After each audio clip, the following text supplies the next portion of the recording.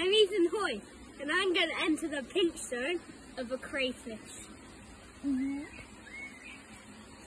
look at this bad boy. Right. I need a bigger claw then. Oh, wow, wow, wow, wow, wow, wow, wow. Oh, man. Oh, man, you can actually see it.